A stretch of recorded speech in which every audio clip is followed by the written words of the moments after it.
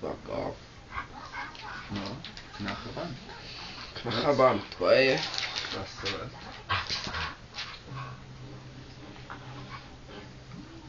I like strong as fuck.